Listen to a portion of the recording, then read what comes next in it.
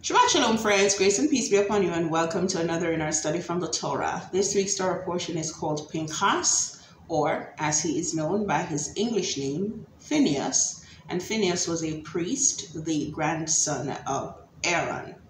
Now, Hashem made a covenant of peace with Pinchas because of the incident at Baal Peor.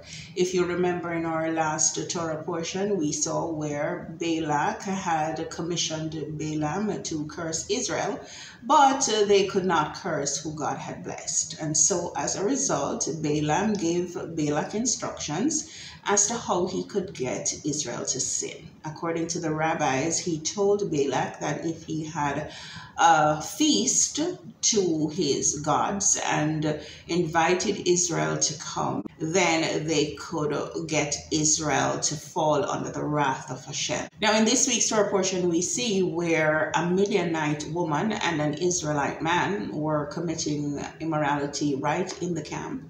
And uh, Phineas defended Hashem's honor by striking them.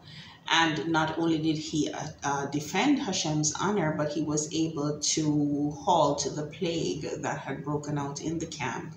And God, because of Phineas's actions, made a covenant of peace with him.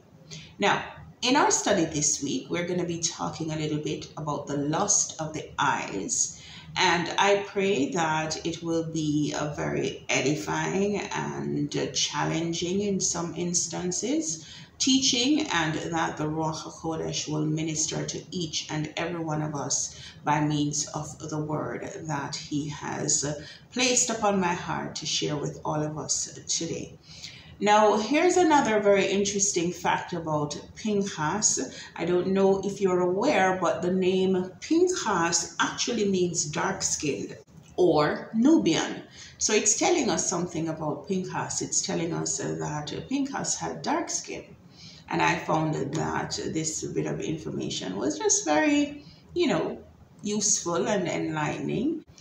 Now, today we are going to begin with a scripture that is found in uh, First John 2 15 through to 17. And this is what it says over there. It says, Do not love the world or anything in the world. If anyone loves the world, the love of the Father is not in them. For everything in the world, the lust of the flesh, the lust of the eyes, and the pride of life, comes not from the Father, but from the world. The world and its desires pass away, but whoever does the will of God lives forever. Now, in John's letter, he is actually writing to Israelites who had come to faith in Yeshua the Messiah, but by this time they were scattered in different places. And so he is writing this letter to those who were his students, his disciples, now, John is writing about the lust of the flesh, the lust of the eyes, and the pride of life.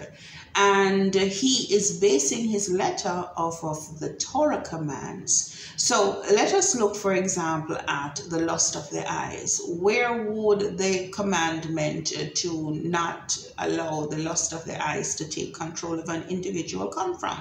We find this in Exodus chapter 20, verse 17, which says, You shall not covet your neighbor's house, you shall not covet your neighbor's wife, or his male or female servant, his ox or donkey, or anything that belongs to your neighbor. So this is actually a Torah command.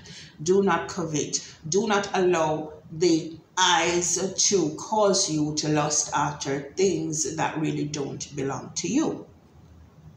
Now, one of the reasons why Israel kept falling into sin was because they kept allowing themselves to be drawn away by what they could see and did not allow themselves to be led by the Spirit of Hashem. They did not allow themselves to be led by the word of Hashem. And this is one of the reasons why Israel kept falling into sin. Now, this uh, temptation of following after the lust of the eyes is something that we find all the way back to the Garden of Eden.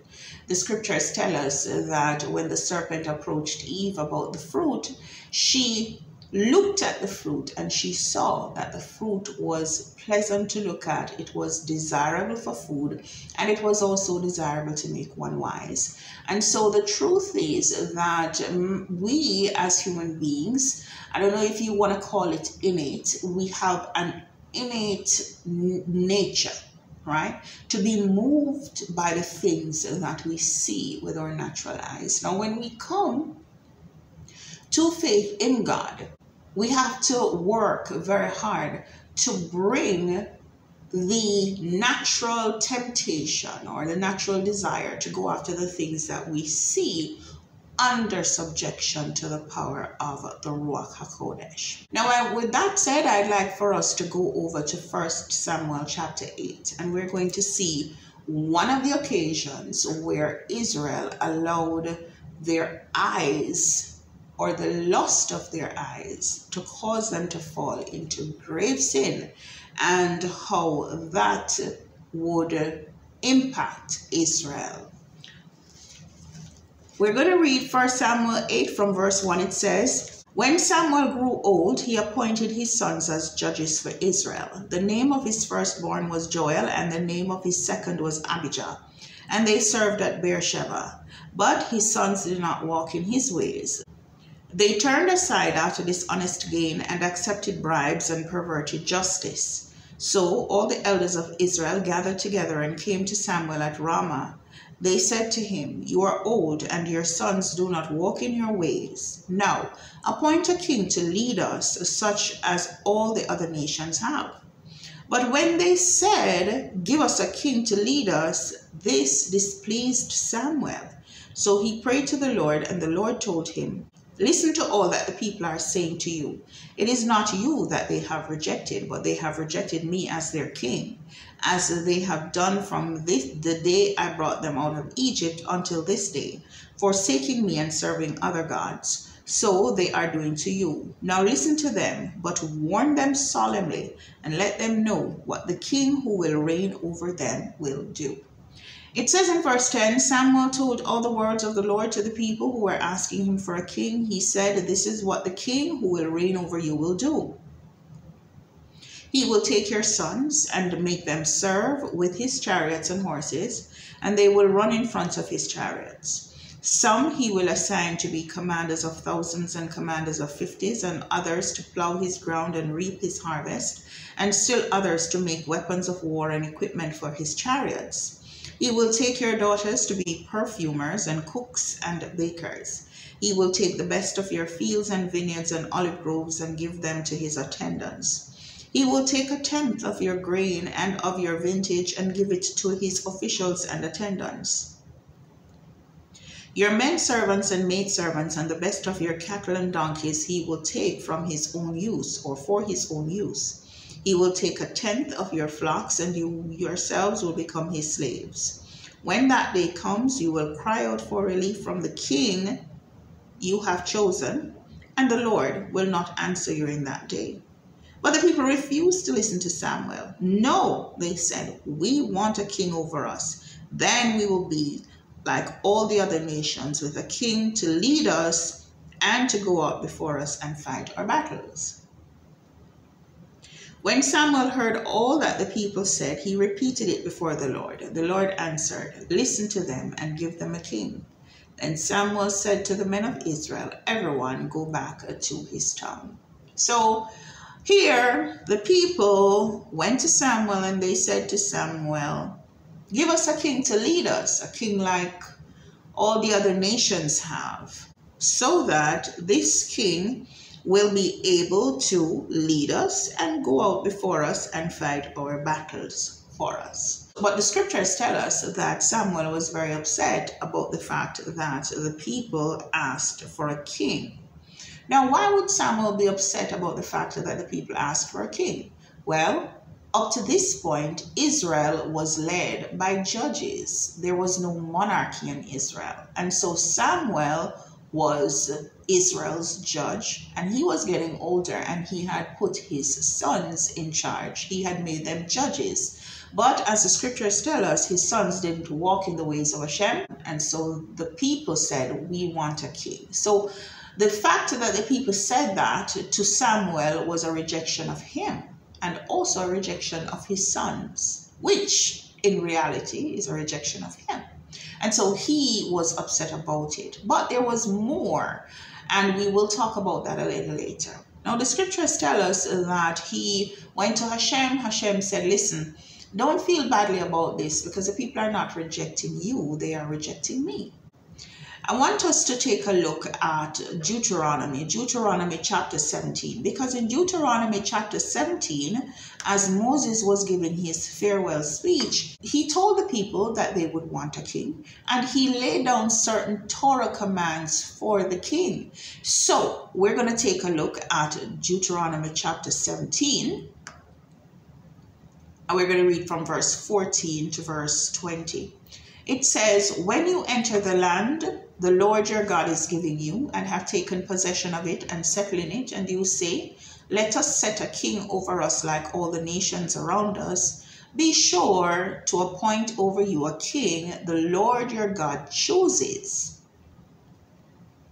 He must be from among your fellow Israelites. Do not place a foreigner over you who is not an Israelite.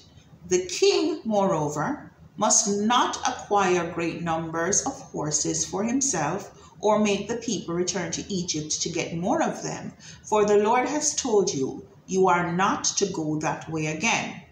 He must not take many wives, or his heart will be led astray. He must not accumulate large amounts of silver and gold.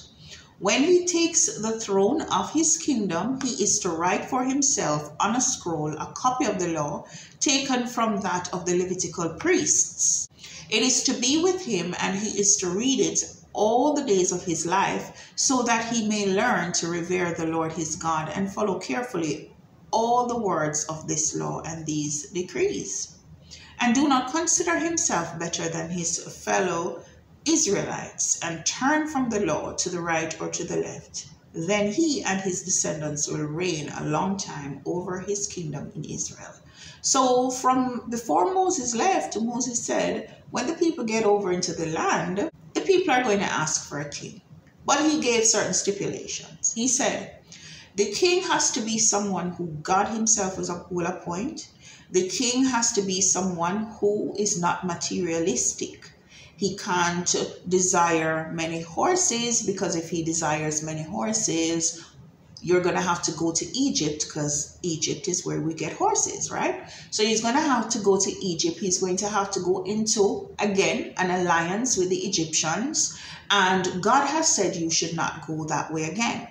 So he shouldn't have a lot of chariots. He shouldn't have a lot of horses. He should not accumulate large amounts of silver and gold. Why? Because all of these things are materialistic. And he said the, the, the, issue of going to Egypt for horses is to ensure that the king will have military power. It must not be somebody who is going to desire military power or going to desire a lot of wealth, or should I say, be driven by these things.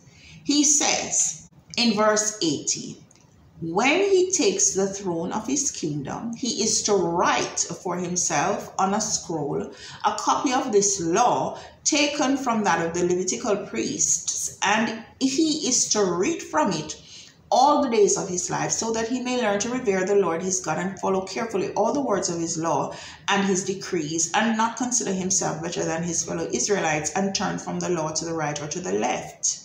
So Moses said, Israel's ideal king will be a king that God himself will choose. He cannot be led by a desire for power or a desire for wealth, but he must be someone who is highly spiritual. The king has to be someone who is led by the spirit and not by the flesh. He says he has to learn the law, live by the law, read the law all the days of his life, and obey God's commandments. Then he will revere God. Why was this so important? Because isn't a king supposed to be someone who is a strong military leader who can lead the people into numerous victories and, and so on and make sure that his kingdom is a thriving, prosperous, wealthy kingdom? Isn't that what kingship is supposed to be about? Not by Moses' standards. Moses says the king who God gives to Israel must be a king who is a spiritual king because if the king is materialistic, he is going to lead the people into materialism.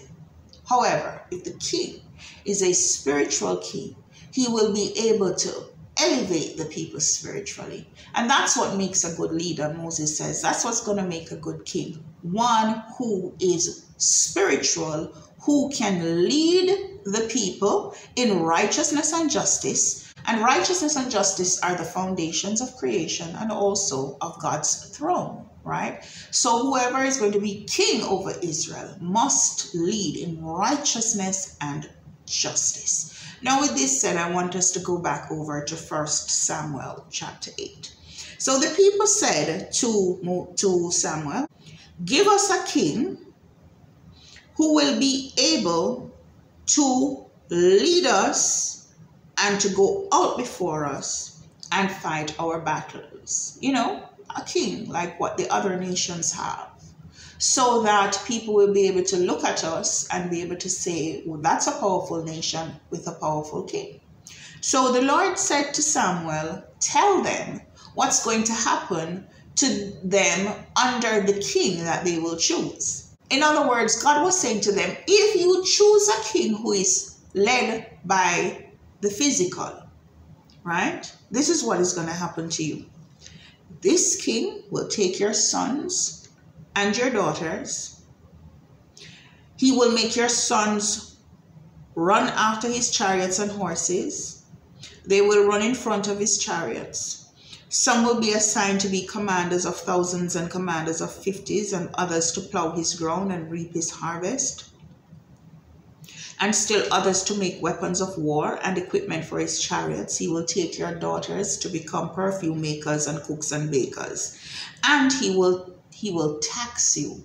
He's going to take your fields and your vineyards and olive groves and give them to his attendants. You're going to have to give him a tenth of your grain and your wine. And you are also going to have to give him a tenth of your cattle and a tenth of your flocks. And you will become his slaves. You see, this is what the world system does, right? takes and takes and takes and takes and takes. And God said to the people, You will become his slaves. The people said, That's okay. We just want a king like what we see the other nations with one who can go out to battle for us. You see, Samuel, as a prophet, was a spiritual leader in Israel. It wasn't about materialism or power or military might or anything like that. Besides, Israel already had a king in Hashem. And Hashem was the king who was a spiritual king, right? One who judged in righteousness and justice and gave them the Torah, and one who went out and fought their battles for them. God had given Israel many military victories, but no, that wasn't enough. They wanted a king that they could see with their eyes and a king that the other nations could see. It wasn't enough for them to have a spiritual king. And so Israel got Saul. And this was the issue that uh, Samuel had with Saul. Saul was a military man, he was a warrior, he was a Benjamite. But he wasn't a spiritual man. He didn't obey God's commandments.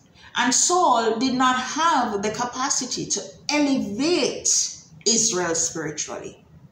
Saul did not possess the ability to bring Israel up as a spiritual people. And this is teaching us something this week because we have to recognize that while the nations will be led by the physical things, and the people who don't know God are led by what they can see. We have to recognize as the people of God that we have been called to be led by something higher. And every time Israel allowed their eyes to lead them, they fell into sin.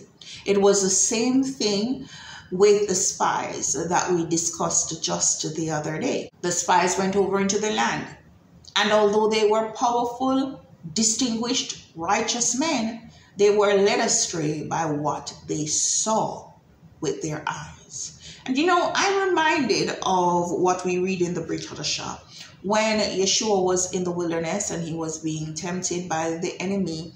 The enemy took him up and said to him, Look at all the kingdoms of the world. On a spiritual level, it is said that the enemy took him up, took him up into the spiritual realm because that would be the vantage point, realistically, for him to see all the kingdoms of the world. So even though the scripture says that he took him up on a spiritual level, he took him up into the realm of the spirit and showed him the kingdoms and said to him, All of this I will give to you if you do one act of worship.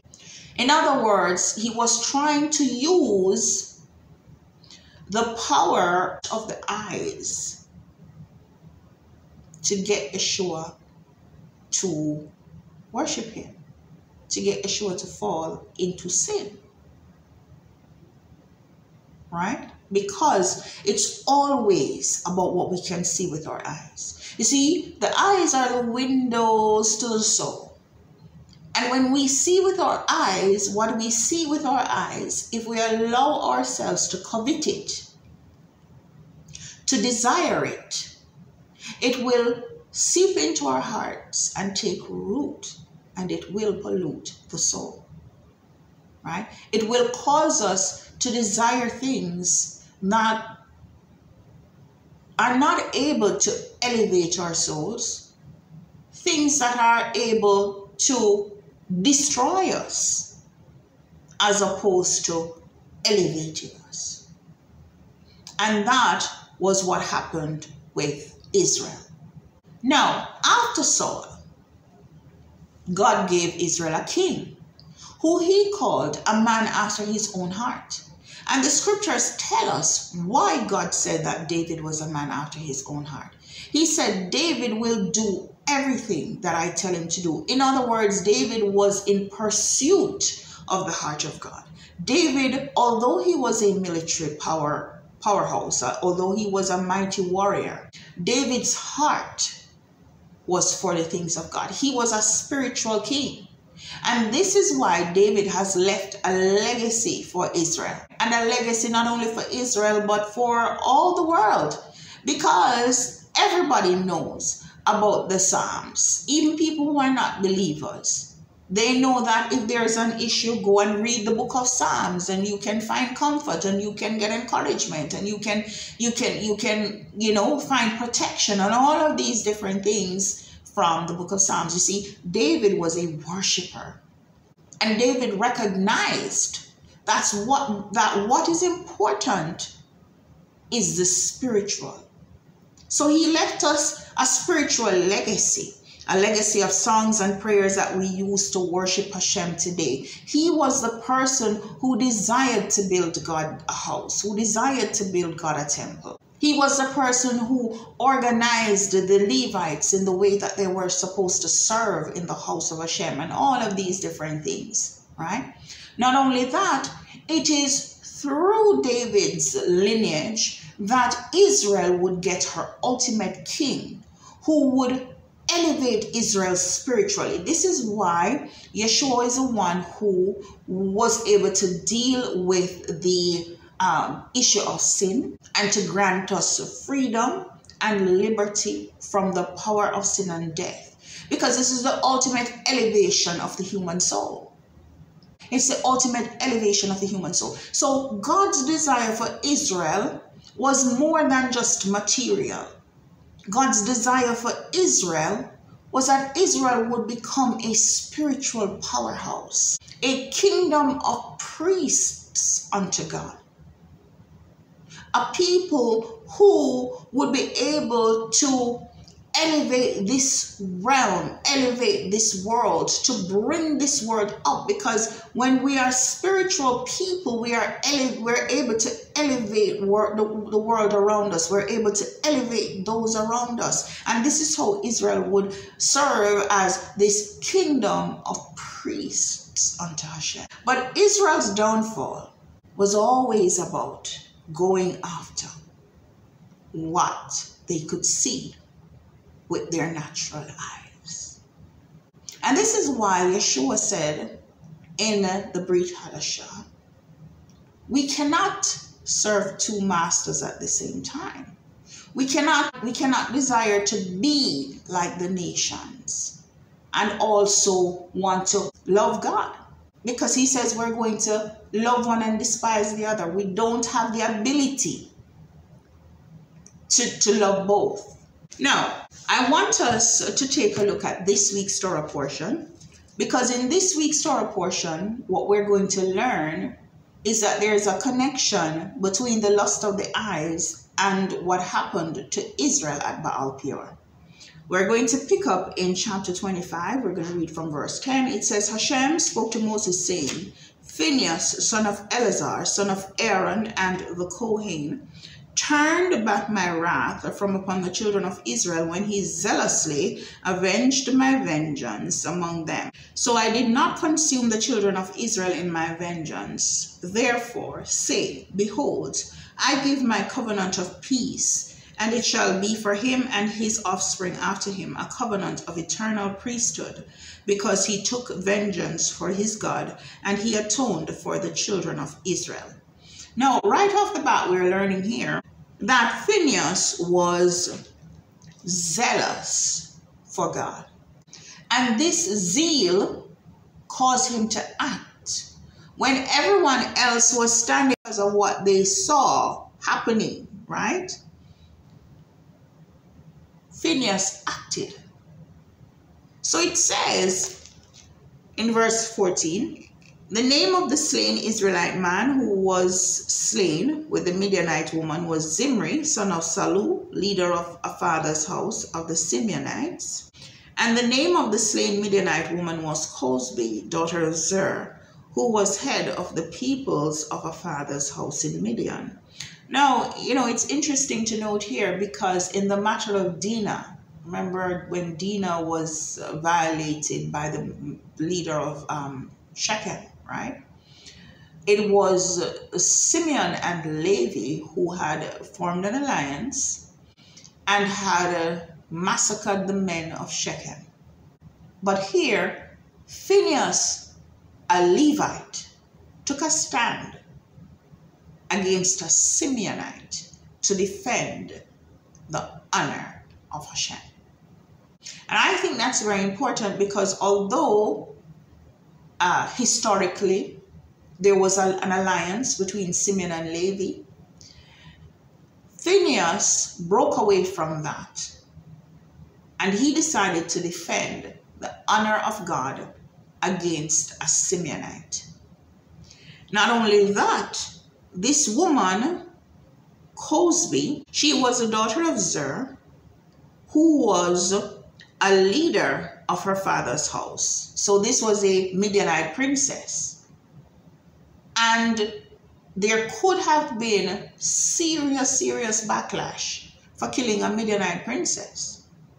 But because he was zealous to defend Hashem, and because he was moved by the spiritual, because his heart was for the things of God, Phineas acted. And Hashem said, I will make a covenant of peace for him and his offspring. It tells us too that when we are, when we go after the things of Hashem, Hashem will not only bless us, but the blessings will trickle down to our descendants even. And the scriptures tell us that there was a plague that broke out among the people and many died that day. Now, here we have again another situation where the lust of the eyes caused Israel to fall. Because this is why Balaam was able to say to Balak, Have a feast because Israel's downfall and Israel's desire was to always be like the nations. So when they saw the Midianites having a beautiful party, and even though they knew that it was a feast for their pagan gods, and even though they knew that there was a lot of immorality that happened in the name of religion at some of these religious feasts, they still were drawn away. Drawn away by how the Midianites worshipped their God, drawn away by how the women looked, drawn away by a desire to fit in, drawn away by a desire to be like the nations. And so Balaam, knowing this, was able to say, this is how you will be able to get them. Now, the enemy doesn't have any new tricks, and he's still using our fleshly desires and the lust of our eyes to cause us to go after the things of the world. So, here are some questions for us today. Are we more driven by what we see with our eyes than we are driven or zealous, as Phineas was, for the things of God? Do we desire to excel materially more than we desire to strive and excel spiritually? There are so many persons today who, you know, all they think about is career and wealth and possessions and what's going to happen in the future and I need to make sure that I have this and I need to make sure that I have that but spend so little time pursuing the things of God. As a matter of fact, John said to the people when he was writing this passage of scripture that we opened with that it is really only what we do for God that will last. But then we go through life desiring so much of what the world has to offer, desiring so much of what we see with our eyes as opposed to desiring the things of God, the things of the Spirit? Do we prefer the world's system of rulership and kingship as opposed to Hashem's way of doing things? And as I'm talking here, the word that keeps coming to my spirit is a comparison because it is the lust of the eyes that cause us to compare ourselves a lot to the people around us. And usually the end result of that is unhappiness. And sometimes it also leads to grave sins that can destroy us. So we see people excelling or we see people acquiring certain things and we don't see those things coming our way and so on and so forth. And it is because we allow our eyes to lust and those things stay there and they fester. A lot of times people are walking around very, very unhappy because comparison is a thief and comparison will destroy us. So today, I believe that the word that Hashem is sending to all of us is that we are to guard our eyes and our hearts. Because all of these things, if we are not careful, can affect us and can affect us or will affect us negatively if we don't learn how to master these things. And this is why we have the Ruach HaKodesh. We have the Ruach HaKodesh who is there to strengthen us and to help us to stand against these uh, temptations that come to bombard us. And sometimes it can be just simple things. Like desiring to eat the way that the world eats because it's easier desiring to live the way that the world lives because it's easier. And it has the appearance of having more freedom. A lot of times people believe that God's way is very restrictive. And so the enemy wants us to believe that the world's way is free. You can live how you want to live and date how you want to date and date who you want to date and marry who you want to marry. All of these different things. But we have to guard our eyes and our hearts. Now, I want to share with you a couple of other scriptures about the eyes and the lust of the eyes.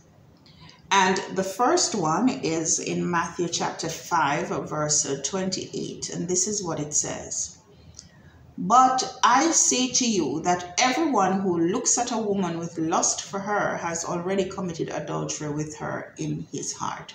So here Yeshua was uh, teaching about uh, the higher dimension of the covenant of, or of the commandment not to commit adultery right? So the Torah says, do not commit adultery. Yeshua says, adultery is more than just a physical act. He said, adultery, right, is also spiritual. So he says, if you even look at a woman with lust, then you have committed adultery in your heart. You see, he came to elevate Israel higher than the physical. And so, those of us who are believers in Messiah and who have the Spirit have to understand that we have been elevated to walk at a higher level than just the physical.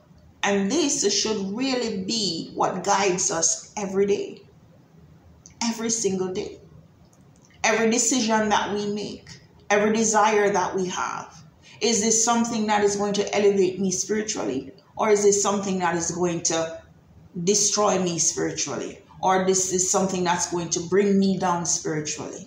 Now, another scripture is Proverbs 27 20. Over there it says, Sheol and Abaddon are never satisfied. The grave is never satisfied, nor are the eyes of man ever satisfied. So here's what we have to understand we have a tendency as human beings, right? to always be looking and seeing the things that we lack or the things that we want more of. But as God said to Cain, sin is crouching at your door, but you must master it. We have the power to master it. And we have the power to say no, especially since we have been given the Ruach HaKodesh. We have the power to master it. So even though the eyes have a tendency not to be satisfied, we must learn how to bring the eyes into subjection to the power of the Ruach HaKodesh. Now, let's look at Job. Job chapter 31, verse 1 says, Job says, I have made a covenant with my eyes. How then could I gaze at a virgin?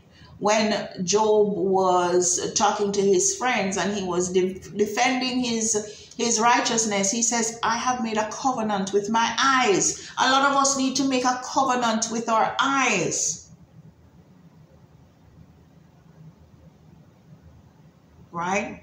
The spiritual eyes must be opened so that we can have mastery over the physical eyes. James 1 14 to 15, this is what it says over there.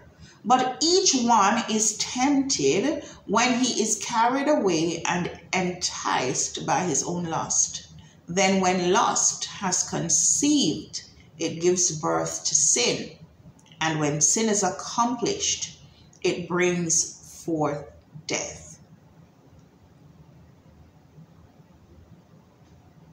And the last one that I want to share with us is the one that we opened this teaching with, and it is First John 2.